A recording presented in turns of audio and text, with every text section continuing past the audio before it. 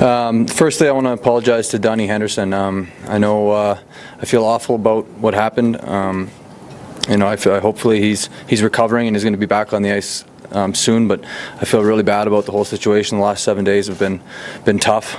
Um, Never in my career have I ever disrespected or done anything like this to an official. I think I've prided myself on on having a great work, working relationship with the officials, and I hope to continue that um, when I get out there. But again, I just want to apologize to Donnie, and I feel awful about um, what happened. Um, as far as the suspension goes, I'm really disappointed with uh, with the decision and the length of the suspension. Um, I- At no time, I did not have any intent at any time to, to hit the official or hurt him or or anything like that. I would never do something like that, and I'm I'm pretty disappointed with with uh, the decision. Um, as Pete mentioned, um, the process is under appeal, um, so I can't comment on on it going forward uh, uh, right now. But uh, when the time's right and the time comes, then I can take your- take your questions and answer them um, when the time is right.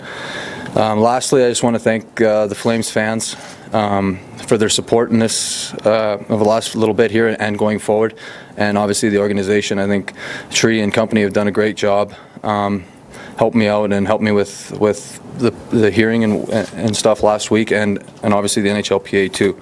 Um, You know, I think in the past, our our organization has done a great job of of honoring linesmen and officials, just as recently as as Mike Cvik, um, and our fans too. I think uh, when when we sent them off the ice after the game, they gave them a standing ovation. I think that's that's something that shows how we feel about the officials in this league, and that's something that I want to be a part of going forward.